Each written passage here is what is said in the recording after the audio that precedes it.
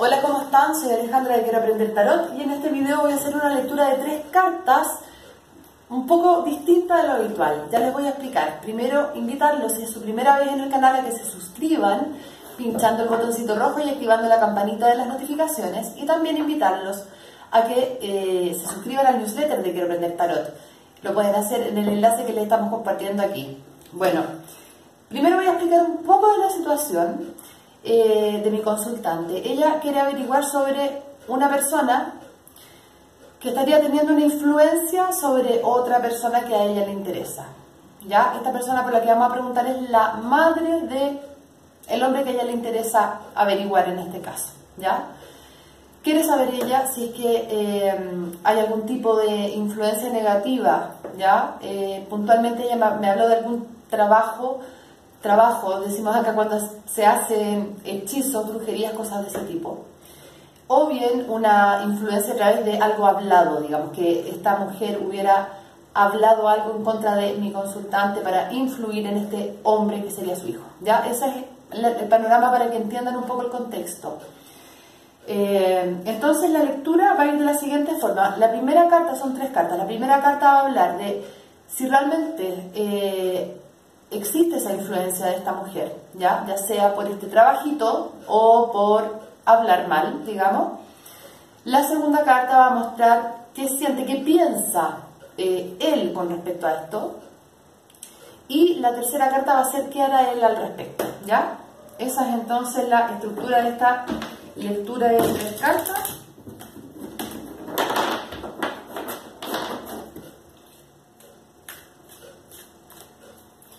Ya, vamos a concentrarnos entonces en esa persona. Pedirle al tarot que le conteste con mucha claridad a mi consultante. Y aprovecho a agradecerle también por permitirme compartir su lectura con ustedes.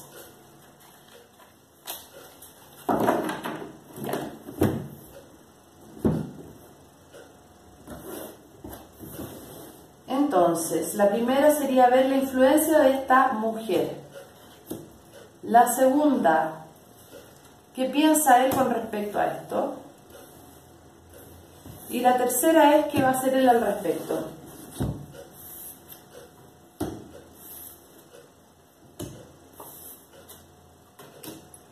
Wow, bien sorprendente esta tirada, la verdad, como que lo que primero que puedo decir, les voy a mostrar las cartas. Este es un 7 de copas en la posición de la influencia de la mujer, ¿ya?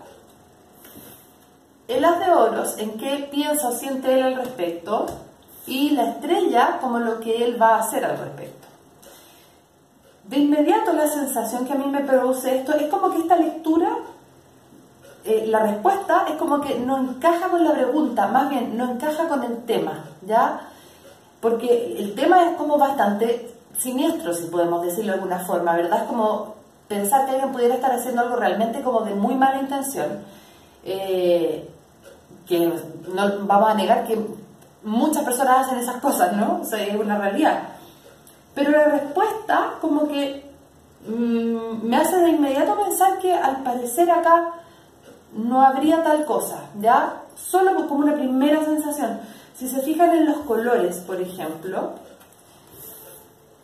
bueno, ustedes saben que yo el tarot lo leo no solo como los significados, pero es como el ambiente que hay en esta lectura, es muy suave, es muy dulce, está la estrella por ahí, eh, no hay nada agresivo, ¿cierto? No hay nada violento, no hay nada, ni una espada, no hay ninguna carta que uno pudiera decir, ay, acá hay algo raro.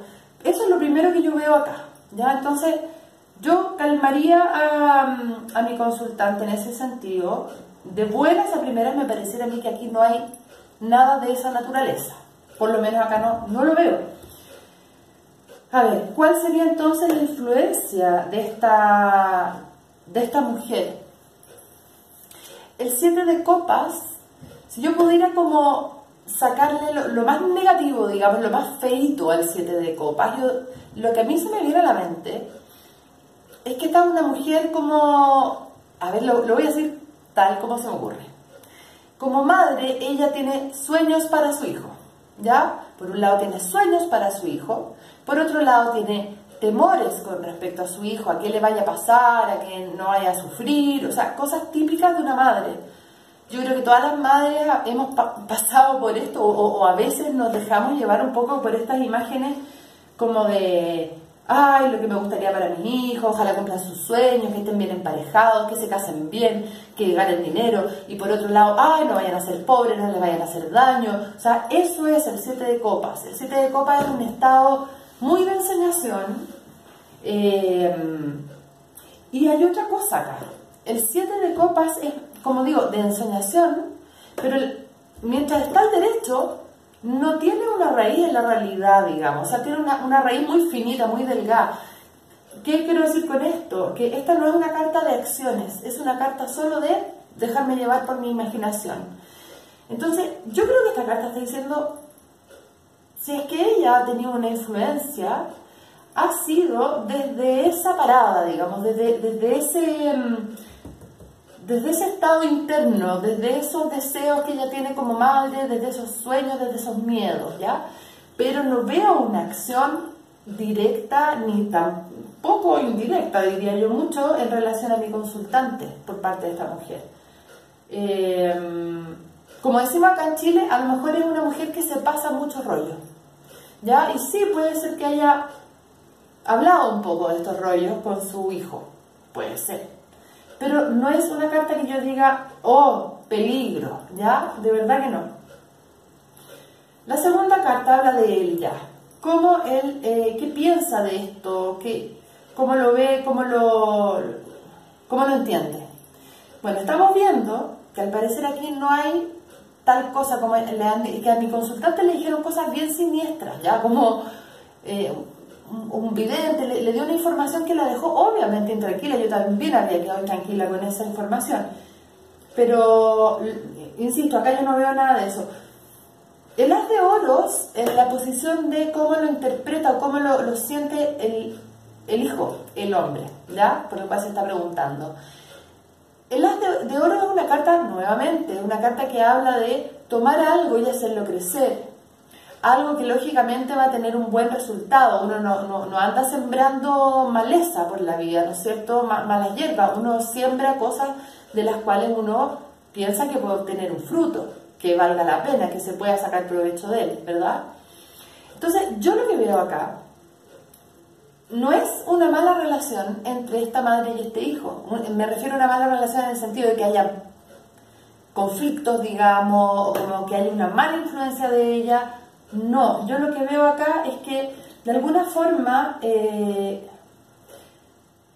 él también está como de acuerdo con los sueños de la madre, ¿ya? O sea, es como que él toma tus sueños, está de acuerdo con ellos, pero él sí tiene la posibilidad de sembrar estas semillas positivas eh, y hacerlas crecer. El haz de oro es eso, ¿ya? Es como eh, el inicio de de un proceso, de un desarrollo que va a traer eventualmente beneficios y que es bien concreto, que es bien, que está bien aspectado además, ¿cierto? Porque está el contexto, está el clima para hacerlo, eh, hay una coherencia, realmente hay una voluntad de hacerlo. O sea, yo veo acá una, una sinergia entre esta influencia intangible de la madre y la decisión de él, o sea, como que él quiere tomar este sueño y hacerlo realidad. En ese sentido podríamos decir, bueno, pero es que a lo mejor ella lo está influyendo negativamente. Sí, podría ser, pero con estas cartas a mí no me huele a eso, y menos con la tercera carta. La tercera carta es la estrella, que habla de qué es lo que él hará al respecto. Pareciera ser que las cartas están un poco como cambiadas de lugar, ¿no? Pero no hay que enredarse demasiado con eso. La estrella es una carta mm, eh, como bien etérea, ¿ah? entonces por eso digo yo que está como medio cruzado todo, porque aparece la estrella en una posición que es es lo que él va a hacer, y aparece esto que es un poco etéreo, digo yo, ¿no es cierto? Pero más allá de eso, si es que lo tomamos como un arcano mayor, podemos hablar de algo más general, ¿ya? De algo que no es esto, digamos, sino que es todo un contexto. Eh, y la estrella tiene que ver con justamente los sueños que se cumplen, la esperanza de que los sueños se cumplan, señales de que mi sueño se está cumpliendo.